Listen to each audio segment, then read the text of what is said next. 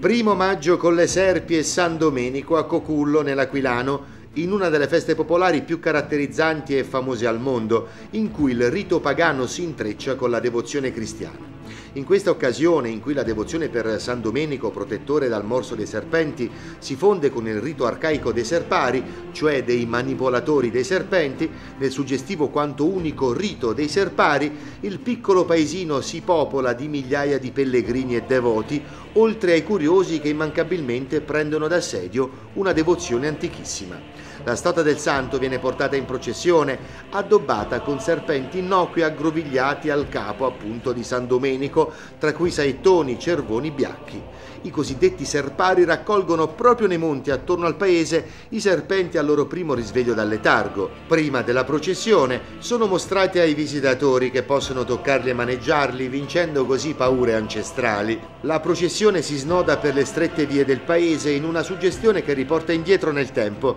nel rito cristallizzato da centinaia di anni e che resiste intatto, con i cocullesi bravi a non subire le contaminazioni di una notorietà che in altri casi avrebbe modificato Serpi, santo e devozione. Il centro studi intitolato ad Alfonso Maria di Nola, il primo antropologo che studiò a fondo il rito diffondendolo, ha promosso un interessante convegno dal titolo Il rituale delle serpi come bene intangibile, sicuro prologo all'inserimento di San Domenico e le sue serpi tra i beni culturali da preservare da parte dell'UNESCO.